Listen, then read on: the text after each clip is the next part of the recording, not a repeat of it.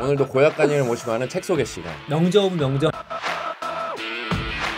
어우 나 이건 아직도 소름 돋아.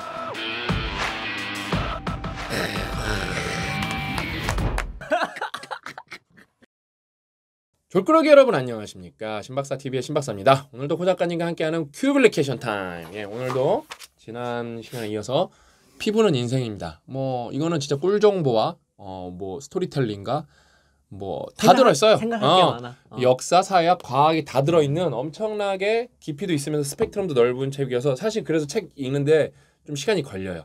책은 그렇게 안 진도 막 두꺼운데 빼기 진도 힘들어. 빼기가 어려운 음. 책이에요. 그래서 오늘은 여러분들한테 구라 1도 없이 촉을 키우는 방법을 제가 이게 보통 사기꾼들이 아, 많거든요. 되게 뭐랄까 구라 칠 것 같은데. 아, 구라 엄청 칠 것 같죠? 구라 1도 없이 과학적 근거로 여러분들의 촉을 키우는 법을 제가 음. 알려드리겠습니다.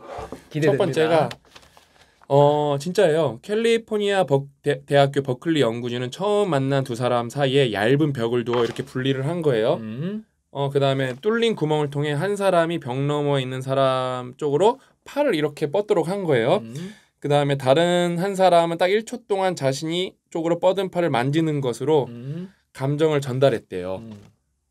같죠? 그렇게 전달한 거예요. 이렇게 이렇게 따라해봐. 그러니까 내가 이렇게 해서 자 여기가 벽이 있는데 있는데 이렇게 넣었어. 넣었어 잡고 보내 하고 끝낸 거 이렇게요. 감정을 보냈어. 여러 전달했어요. 음. 놀랍게도 응? 팔을 뻗은 사람은 상대가 전한 연민, 감사, 사랑, 분노, 두려움, 혐오 같은 각기 다른 감정을 찰나의 접촉만으로 거의 다 구분할 수 있었다. 진짜 대단한 것 같아. 영진이가 구라친 거 아닙니다. 네, 이거는 여기는 re- reference reference 34번이 있어요. 심지어 어떤 실험인지. 그러니까 그 나는 그 우리가 촉에서 그 촉감이라는 걸 생각도 못했어요. 음. 촉이 온다가 음.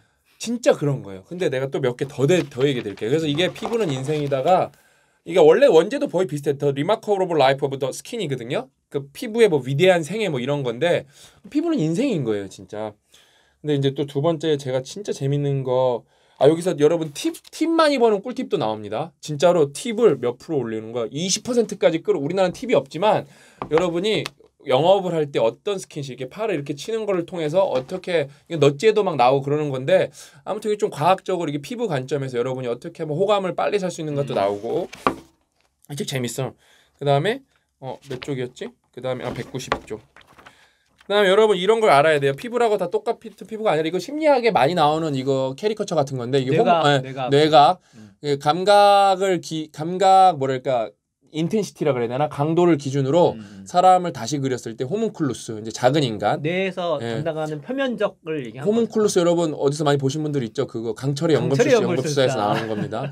그래서 그 homunculus를 이렇게 만든 건데 그러니까 여러분이 막 막 예를 들어 피부가 있으면은 피부가 감각을 가장 많이 받는 부분들이 뭐 어떤 분들은 다른 데라고 생각할 수도 있겠지만 생각보다 입술과 손과 발이라는 거예요. 그래서 여러분이 누군가의 손을 잡아주는 행위는 되게 큰 행위입니다. 되게 큰 행위예요, 진짜. 음. 한마디로 뇌에 부동산이 많아. 네, 네. 아, 그게 중요하기 때문에. 그다음에 여러분 이제 내가 아까 한번 되게 사기치는 거 같죠? 그럼 여러분 피부로 듣는 얘기 해드릴게. 내가 피부로 듣는 얘기. 그냥 또 뻥치는 거 아니야. 잘 들어요.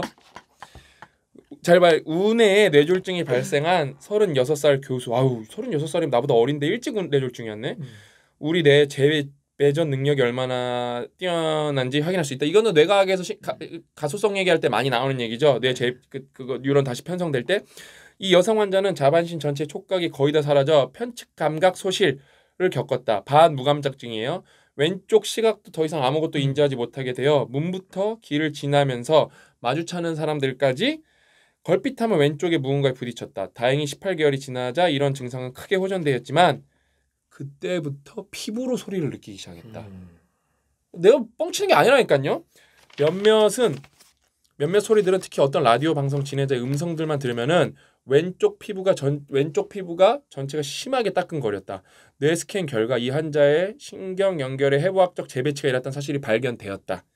뇌졸중을 겪고 몸이 치유되는 과정에서 뇌의 청각, 체성 감각, 피부로만 느끼는 감각, 영역 사이에 신경 연결이 형성된 거예요. 이 독특한 현상은 청각과 촉각의 공간과 즉 감각 결합으로 알려져 있다. 이런 케이스가 많아요.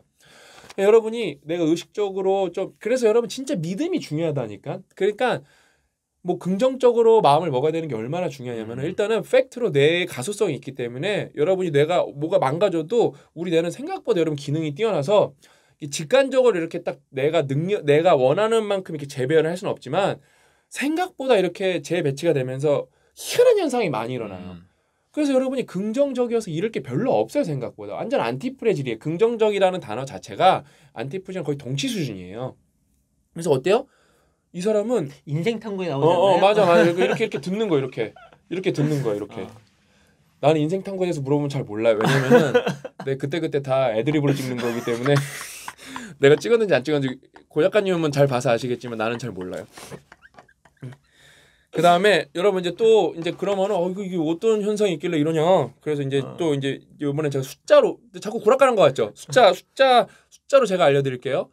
여기 다 reference 있어요. 네, 다 reference가 있어요. 촉각의 생리학적 특성은 털이 없는 피부의 높은 밀도로 자리한 기계 감각 수용체가 A 베타 신경섬유를 통해 뇌, 뇌와 연결되어 있는 것이라고 간단히 정리할 수 있다. 읽는 것조차도 간단하지 않은 간단하지 않은. 아 박사님 너무 예, 하시네. 아주 간단하다고 그냥 선을 긋는데 이 아저씨 좀 웃긴 아저씨. 그러니까 그나마 이 사람 나름 친절하게 설명했다고 하는 거예요. 근데 그래서 아 여기서 재밌는 숫자가 나와요. 이 어. 이게 예를 들어 피부에서 여러분이 이렇게 신호가 가는 건데 이 신경 섬유는 레이싱카가 전속력으로 달리는 수준 거의 250km가 넘는 속도로 신호를 전달하는데. 음. 그러니까 여러분이 이렇게 뭘까 피부로 딱 닿았을 때 후 이렇게 가는 거예요, 그렇지, 진짜. 그렇지, 그렇지. 아 이것도 느린 거야. 이것도 그러네, 느린 거야. 그러네. 후 이게 진짜 얼마나 빨리 가는 거냐면 입만 어, 빠르네. 어, 그러니까 그러니까 이게 진짜 여기에 뭐 별의별 얘기가 다 아니, 나요. 그러니까 제가 저 일본에 말씀드린 것처럼 음. 이분이 이렇게 무책임하지 않아요. 어려운 음. 말을 이렇게 풀어줍니다. 음. 이런 식으로 뭐 레이싱카가 왔다는 둥 뭐 건물을 지을 때 뭐 시멘트 바닥 얘기도 해주고 이렇게 하거든요. 아 그래서 내가 요거는 뭐 책 못 사서 보시는 분들 있으니까 요 팁은 내가 알려드릴게요. 음. 이제 오른쪽을 보니 웨이트리스가 손님과 열심히 대화를 나누고 있다. 그러다가 테이블 계산서를 올리면서 가볍게 그의 팔을 만진다. 음. 아주 무의식적으로 살짝 터치하는 거예요. 어 근데 이 얘기는 원래 원래 그 영업 노하우 책들에 많이 나와요. 여기 팔꿈치 치는 거 경험치로 있었던 경험치로 아는 건데 여기 이제 이유가 나와요. 무의식적으로 순식간에 지나간 이 사회적 접촉은 후 이렇게 한거 250km처럼 어? 건네는 팁을 최대 20%까지 끌어올린다고 음. 이 사회 실험으로 나온 거예요 이게요. 근데 여기에 진짜 재밌는 내용들이 많이 나와요. 여기에 보면은 아, 이 책은 너무 재밌는 게 많이 나와서 아, 그다음에 내가 요거 하면서 결국에는 내가 마지막으로 응? 내가 여러분들한테 좀 이 책을 읽으면서 아, 이게 생각보다 또 시사점이 많다는 게 느낀 게 요 마지막 예, 하시기 전에 예. 그 촉 얘기해서 촉각 부분 나오면 재밌는 게 정말 아, 많이 정말 많이 나오는데 나와요. 개인적으로 전율이 어떻게 음. 발생하는지 어. 그거 나오고 그다음에 여기서 그런 거 나와요. 나 내가 제일 궁금했던 거. 간지럼을 왜 그렇지 나는 그렇지 못 태울까? 그렇지. 자기 근데 자신을 왜 못 태울까 자기 간지럼을 태우는 사람이 있어요. 조현병 환자들. 음. 너무 신기해 나 그게 왜 그런지가 나와 있어요 예, 그러니까 예. 이 간지럼이 뭔지가 너무 신기하게 나와요. 음. 그래서 이제 마지막으로 제가 하나 진짜 여러분들한테 설명해드리고 싶었던 게 뭐냐면은 AI가 들어오면서 많은 게 대체될 거는 기정 사실입니다. 음. 바꿀 수가 없어요. 근데 이 촉감 관련된 건 거의 대체할 수가 없어요. 여기 이제 보면은 1장, 2장에 이, 이, 이 촉감이 얼마나 어려운 거고 이게 막 순심 계속 뭐가 이렇게 변하고 있대 이게 진짜 계속 없어지고 막 엄청나게 짧은 단위로 근데 이제 전문 용어가 엄청 많이 나서 여러분이 직접 읽으셨으면 좋겠고 그러니까 최근 개발된 터치 기술이나 로봇의 터치 기능에는 모순이 숨어 있다. 접촉이 사라질 위험이 큰 사회가 되었다는 말처럼 실제로 우리는 누군가 껴안고 위로하거나 등을 두드리며 확신을 전하는 행동보다 손가락으로 스마트폰 화면을 소- 통해 소통하는 방식을 더 편하다고 느낀다. 오늘 또 소통 한번 해야겠다. 왜냐면은 우리 아까 캥거루 케어 얘기 봤잖아요. 캥거루 케어 그러니까 아기가 태어났을 때 엄마가 그 아기를 많이 안고 있으면 안고 음. 있을수록 그 아기가 건강해질 확률, 산모가 건강해질 확률 모든적으로 이게 유리한데 이제 그런 게 그래서 우리는 진사회성 동물이기 때문에 왜냐하면 옛날에 우리가 우리가 여러분 언어로 소통했던 것보다 이렇게 만지고 몸짓 발짓으로 소통했던 기간이 이 호모사피엔스가 생존한 기간에 잽도 안 되게 커요 그냥요. 음. 아니 뭐 상대도 안 돼. 뭐, 뭐 지금 활자가 발견된 게 뭐 끼케 뭐 몇천 년인데 그냥요. 음. 뭐 상형 문자부터 올라가봤자. 근데 우린 여러분 20만만 년, 30만 년 이런 이런 호모사피엔스 역사 이렇게 길기 때문에 우리의 조상은 여러분 저 꼭대기에 있는 조상은 이런 되게 직관적인 소통을 많이 했어요. 그렇기 때문에 다시 넘어가면 그러나 고대로부터 어 이 사람 그 얘기 하네? 그대로부터 전해지는 인간의 감각은 신비한 구석이 있고 때로는 설명이 불가능하다. 어 설명이 불가능하다. 중요한 것은 정서적 소통과 사회적 유대가 건강과 생존에 주는 영향을 잊지 말아야 한다는 점이다. 촉감은 계속해서 피부의 물리적 정서적 초월적인 힘을 유지시킨다. 그러니까 여러분 이게 촉이랑 이 촉감을 통해서 여러분이 얼마나 뛰어난 능력을 가질 수 있는지 이거는 로버트가 여러분이 못 따라오는 능력이에요. 어 시- 그래서 뭐 시니스타 성당 천장에 초자연적인 접촉을 그려놓은 이탈리아 화가는 이런 사실을 잘 알고 있는지도 모른다. 접촉을 통해 생명을 불어넣을 수 있다고 한 것을 보면 말이다.